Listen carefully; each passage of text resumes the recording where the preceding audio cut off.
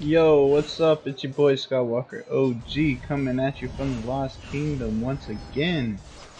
Today, I am, well, right now I'm hitting some barbarians, but today I am going to do an in-depth for you guys on Pelagius.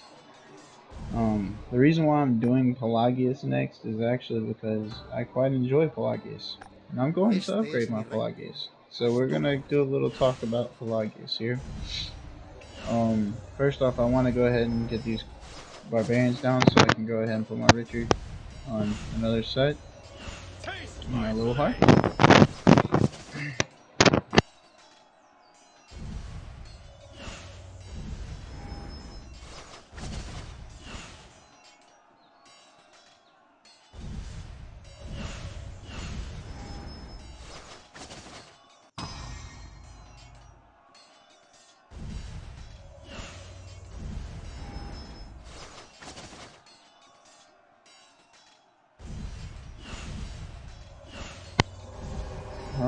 Richard Wise. You knock him down.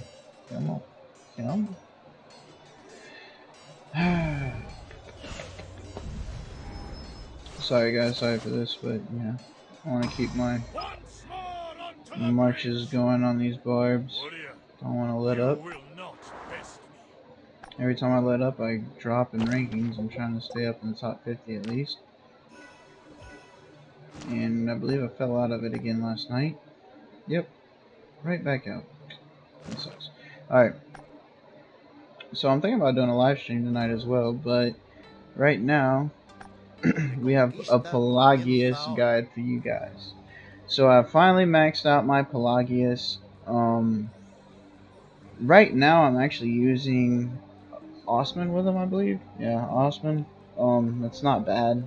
But the only reason I'm doing that is because Osman's my highest epic. I don't want to throw out a 4-star epic.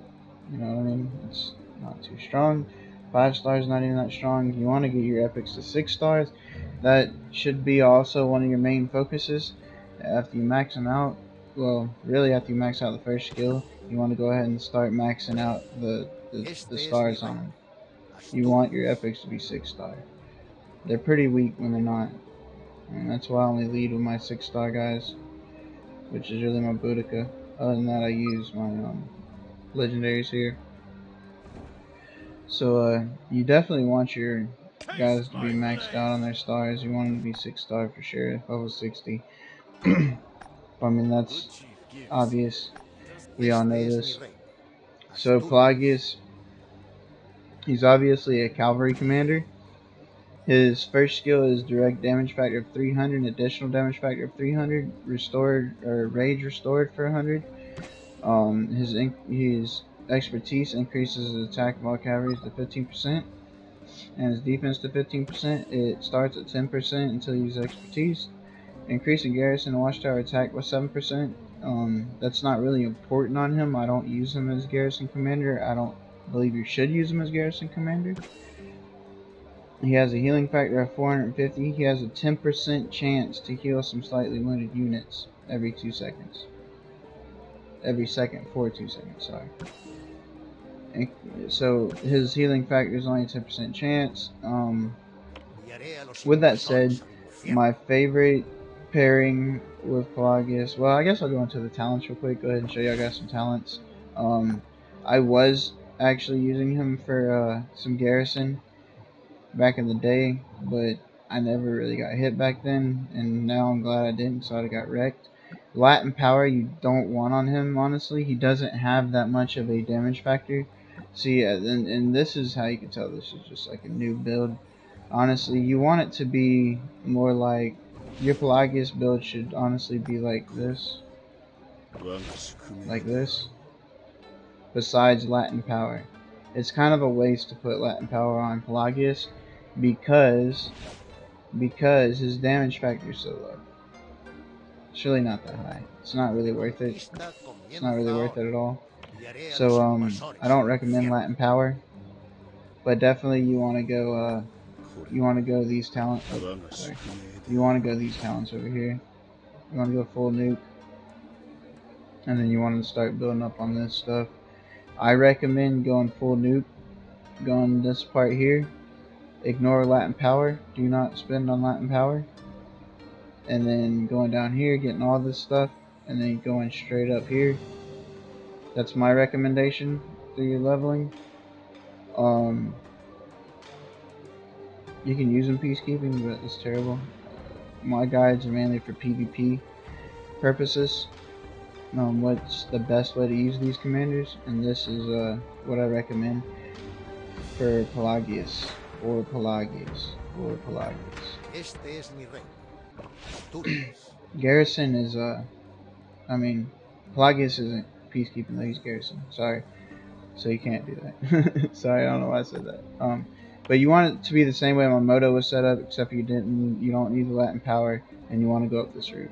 So yeah. but Pelagius, um, when he's six starred, when he's six starred, and he's level 60, he's really good, and you want to use him as the leader if he's six star and level 60. He's very good with Baibars. He's very good with Baibars. That's because they both um, buff up calves. They both have a decent damage. Um, Baibars brings more damage to the table, but Pelagius will bring him some healing, which is good. And uh, on top of uh, Baibars' healing, to me, this is honestly the best. Pelagius Baibars is honestly the best number one epic free to play um, cavalry commander pairing. Pelagius Baibars or Baibars Pelagius, whichever one of them is the highest level. So I'm pretty sure they have the same talents, except for he's conquering and not Garrison. Yeah, he's conquering and not Garrison. Now I do want Latin power on Baibars, because Baibars does have a decent um, skill damage. So that's how Latin power works. They have a low skill damage, there's really no point in Latin power. Um, but yeah, Pelagius Baibars, my number one combo. That's for epic, guys. I'm not talking about mixing them up with legendaries here, because Pelagius Cao is actually really insane. But I'm talking about epics, guys. I'm talking about epics. Um, Pelagius, Boudica obviously works. Uh, let me. I'm getting a little too um too mixed up here. Let me go in order from my favorite in what I think is the strongest to least strongest. Okay, and that would be okay. Pelagius Baibars number one. I believe that's the strongest combo.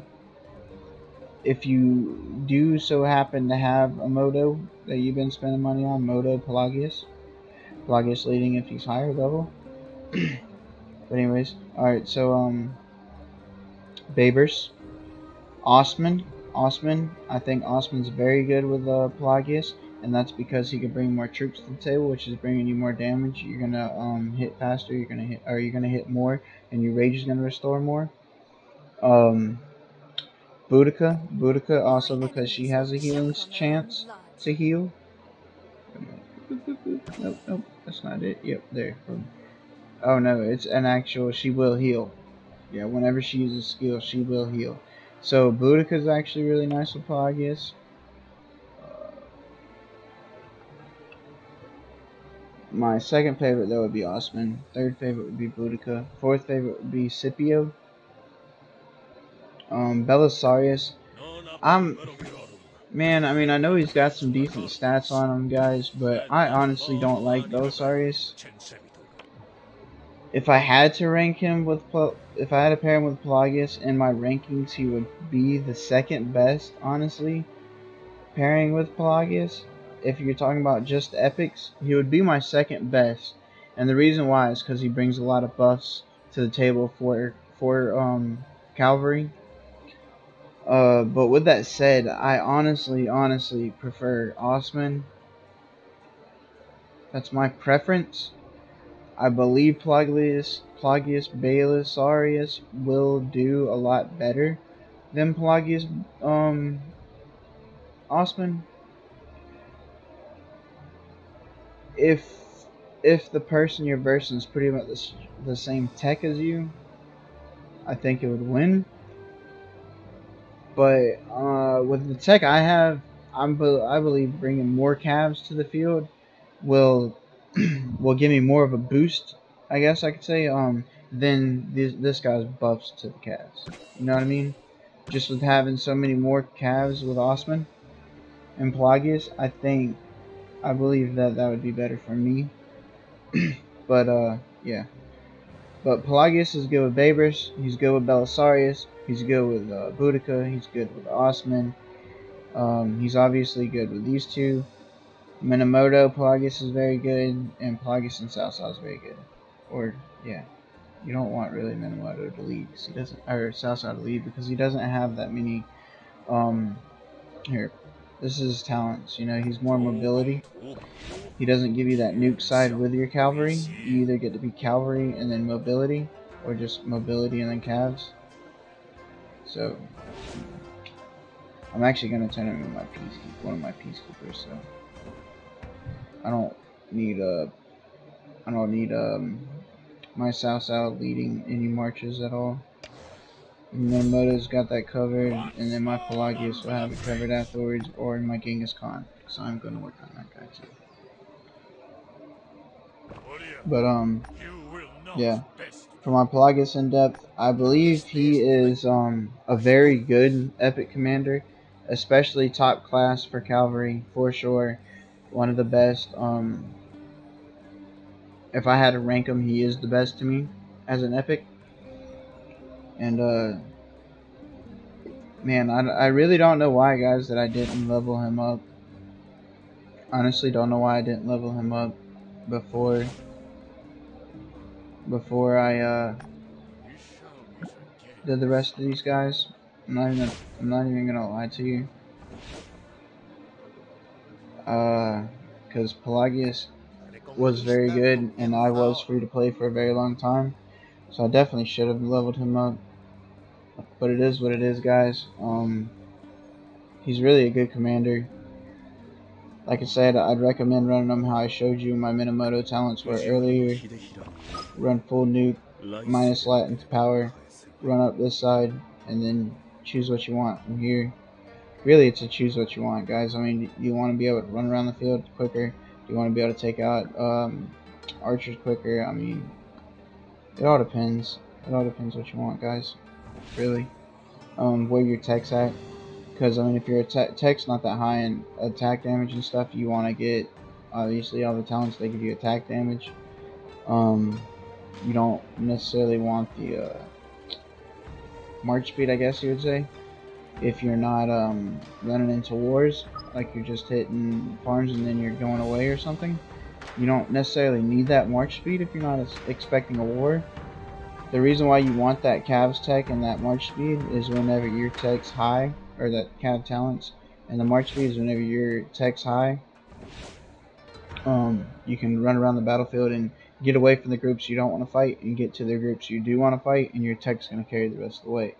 So that's why the the the the, the um, Cavs talent is better at a higher level, but for lower levels, you definitely want to go ahead and nuke nuke side on Pelagius, and uh, use the pairings, man. Use the pairings I recommend. I mean, because they're they're they're gonna they're gonna take you far, man. I mean, these pairings are pretty obvious, guys.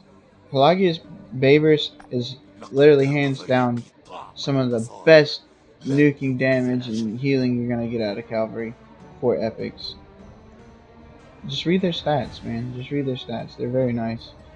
Pelagius Belisarius is nice uh, Pelagius Boudica, Pelagius Osman, Pelagius Scipio. That's all I'd really pair him with. I won't pair him with anybody else. And obviously, guys, whenever I'm doing these pairings and I'm telling you these mixture um, commanders like Boudica, Osman, Herman, or Osman, Boudica, um, Scipio, things like that, they're very versatile. Um, send send the troops.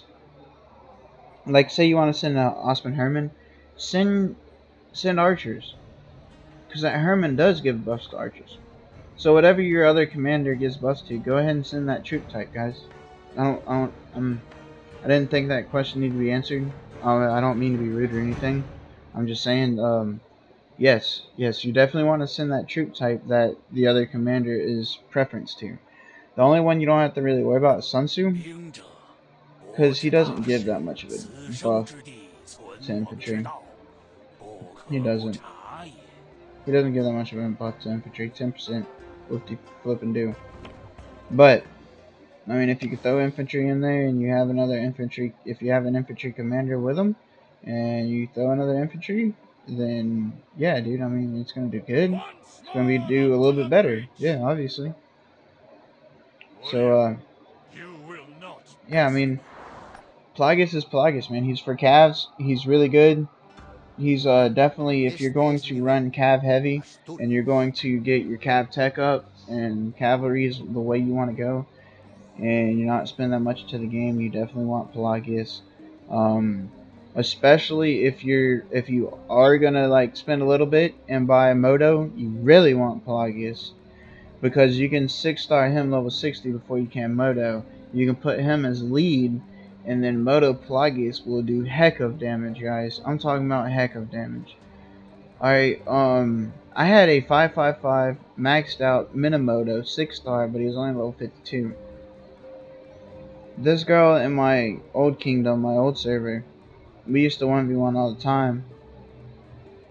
And guys, I'm gonna tell you, man, her Max Pelagius, her Max Pelagius, Max Minamoto was beating my Max Moto um 544 Cao. Like with no worries, like with no problems. She was actually beating me. There was many times that I got close with my extra damage proccing off. But other than that, I mean, she was pretty much getting me every time because she had that Max Moto Max Pelagius. And my Cao was only uh, 544 5432 or something like that. He wasn't maxed yet.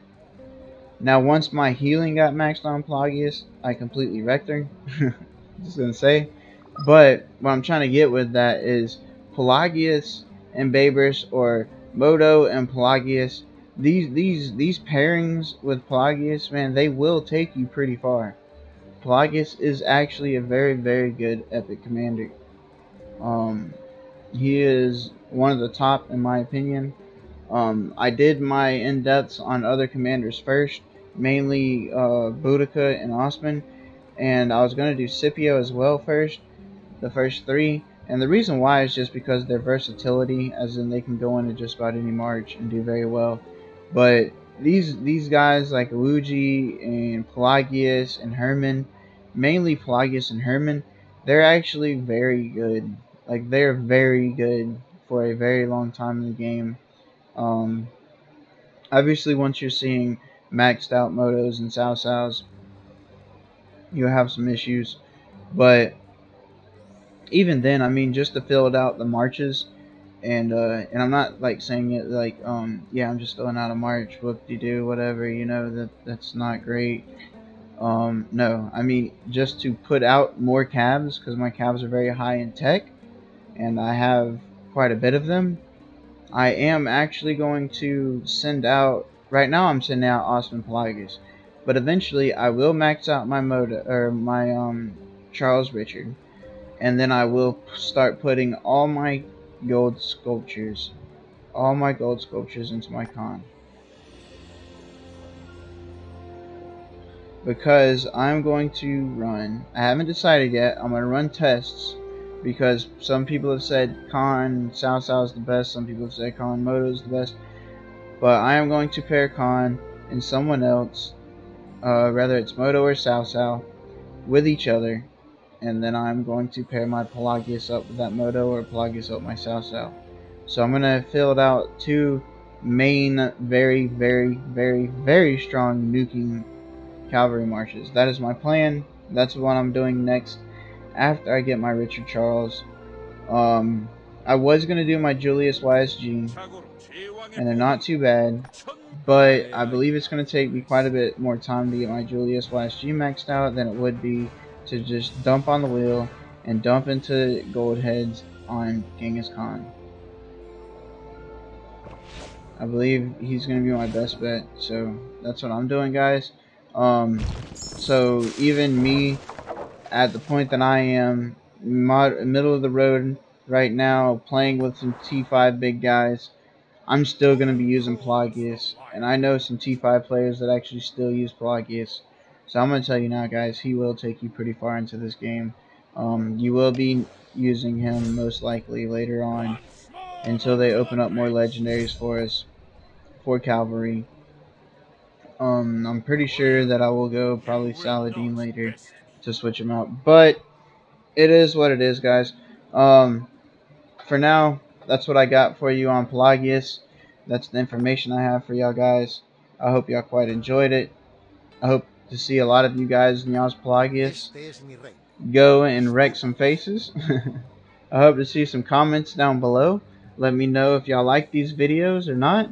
Um, let's get that subscriber count up. Until next time, guys, it's your boy Skywalker OG from K16 and PHR representing.